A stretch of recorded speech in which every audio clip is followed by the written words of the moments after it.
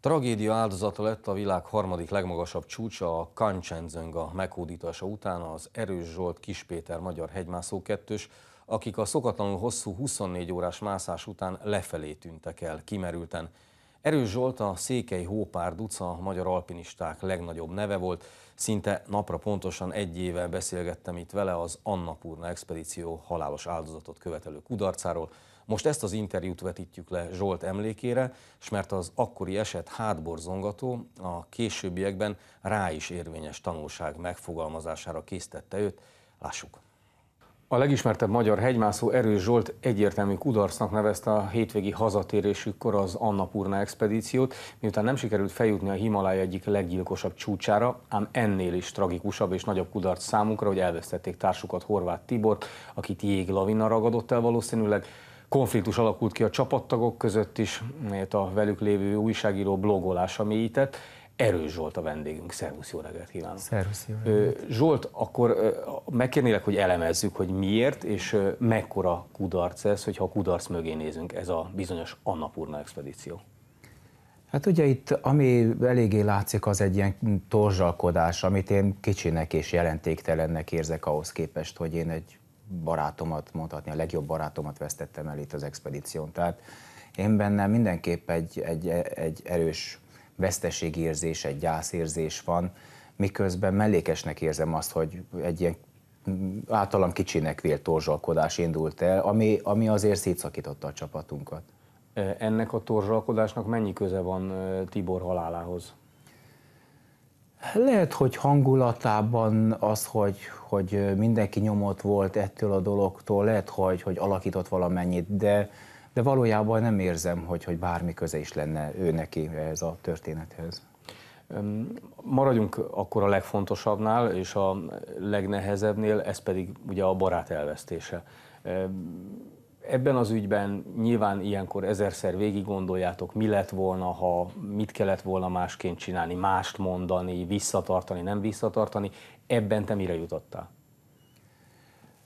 Ö, értetlen vagyok a dologban, mert ő egy nagyon jó hegymászó volt, elég óvatos volt, elég jó döntései voltak, kialakult tapasztalata az expedíciózásban is, és ugyanakkor ahogy elemezzük a történteket, csak arra tudunk jutni, hogy nagyon komoly szakmai hibát vétett. És egy, egy nagyon egyszerű dolgot. Tehát ugye valahogy, hogyha az ember rutinos is adott területeken, én azt látom, hogy a hegymászásból elég könnyű súlyos hibákat véteni. A rutin esetleg abban segít, hogy ezeket jól kivédeni, hogy felismerjük és, és mégis megoldani a helyzetet.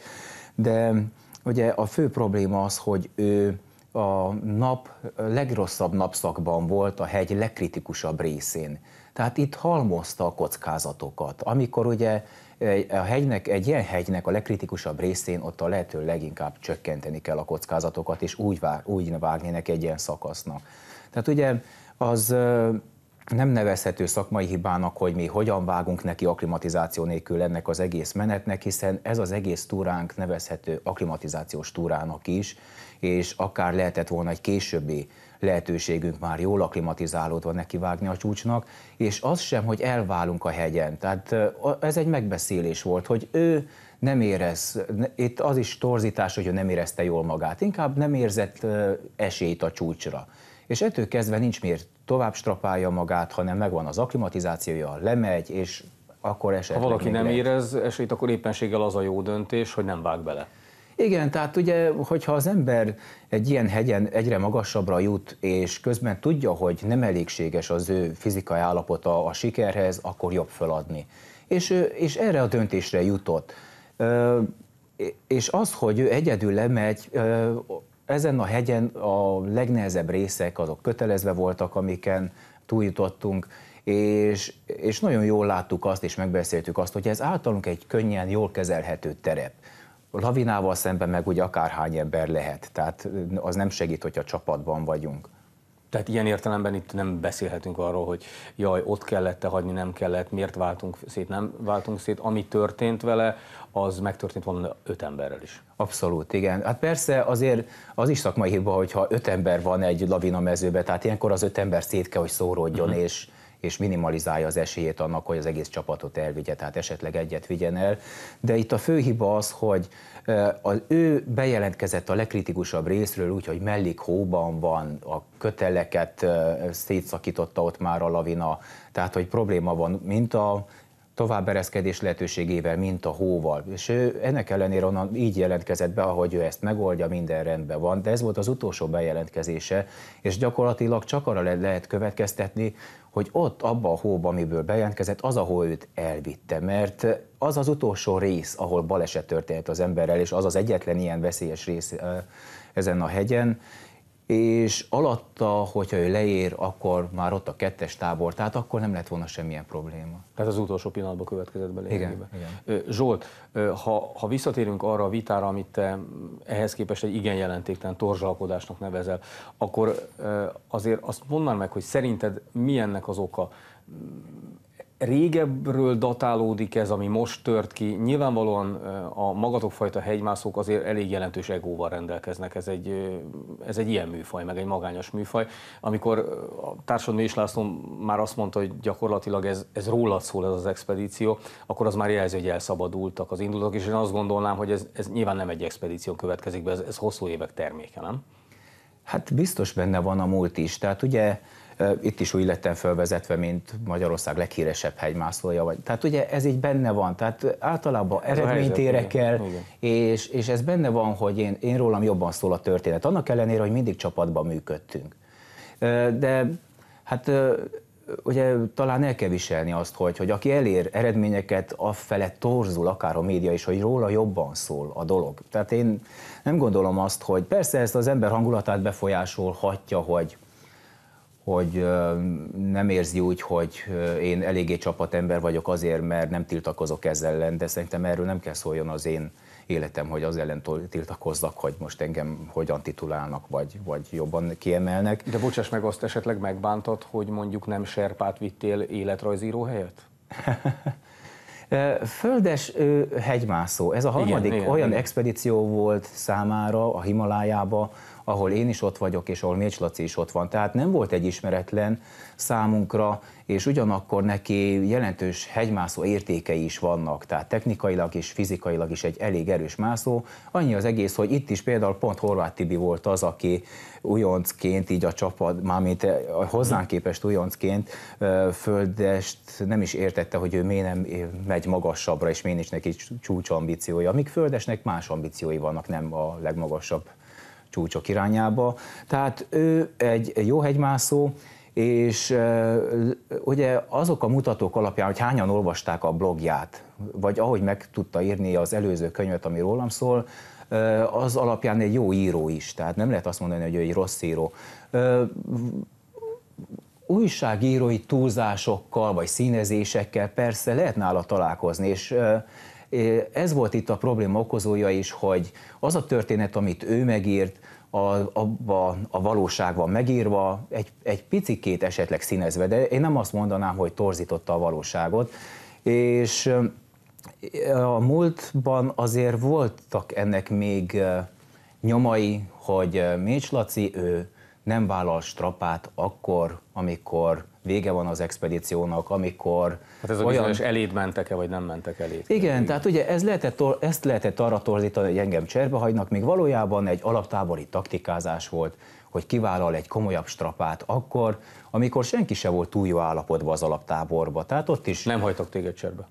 Nem, tehát ez nem egy cserbehagyás, hogyha én rádión azt az üzenetet kapom lentről, hogy itt mindenki lehet olyan beteg, olyan rosszul van, hogy senki nem jön elém, akkor én egyszerűen több felszerelést hagyok a hegyen, amit elveszítünk, és le tudok jönni az alaptáborig. Ez erről szólt, hogy az a közös felszerelés, amit együtt felvittünk, aminek egy szép súlya van, az hogyan jut le a hegyről az én hátamon egy darabig, vagy segít valaki, van olyan, mert annélkül nem Van olyan tanulsága számodra ennek a torzsalkodásnak, hogy, hogy kevesebb nyilvánosság kell a hegyre? Vagy nincs?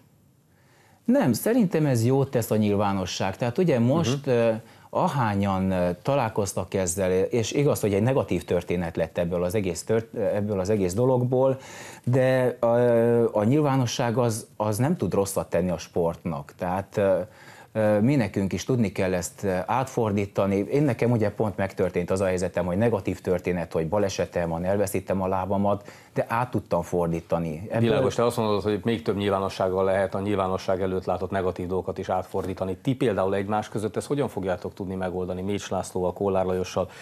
Most mik jönnek? Csoportterápia, leültök, kibeszélitek, megvitatjátok, vagy netán külön válik, szétválik hosszú idő után ez a csapat?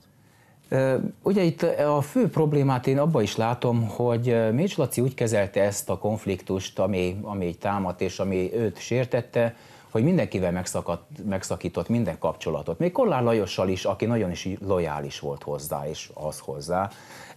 És ez az az álláspont, amivel nincs mit kezdeni. Tehát az, aki nem hajlandó kommunikálni, aki nem hajlandó beszélni, leülni, az azzal a legnehezebb tovább jutni. Ez végleges? Is. Azt gondolod? Nem tudom, tehát ez mindenképp szerintem egy súlyos és nagyon rossz viselkedés ebben a helyzetben, mint ahogy az is, hogy, hogy vagdalkozásba kezdett. Tehát te, ezt te nyitott vagy rá, hogy, kellett te nyitott vagy rá, hogy, hogy csapaton belül retereljétek vissza ezt a Természetesen, természetesen. Azt mondd meg még Zsolt a legvégén, hogy anyagilag kudarc volt az expedíció, nyilván a szponzorok figyelnek, nyilván a szponzorok számon kérnek eredményeket. Amit most történt az Annapurnán, az hátráltatja a jövő évre, a jövő ilyenkor tervezett Kancsenjunga expedíciót?